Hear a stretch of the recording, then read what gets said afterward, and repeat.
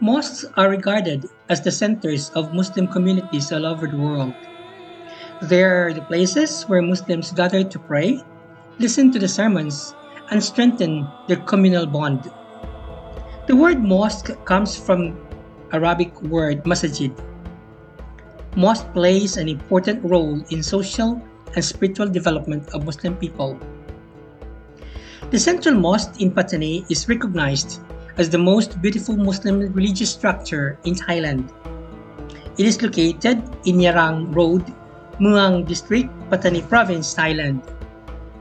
The Thai government in 1954 approved a budget for the construction of the Pattani Central Mosque.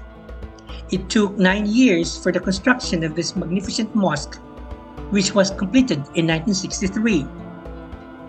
The Central Mosque of Pattani is a two-story building and its architectural form looks like that of Taj Mahal of India. It is a large dome surrounded by four smaller ones.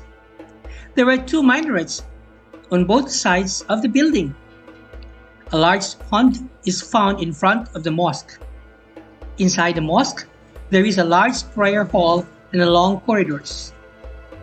The mosque is open for daily religious activities.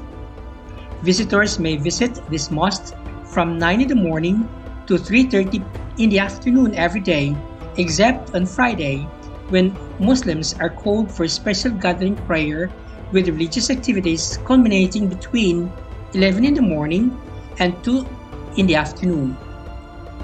The beautiful mosque has become a major tourist attraction in the southern border province of Pattani.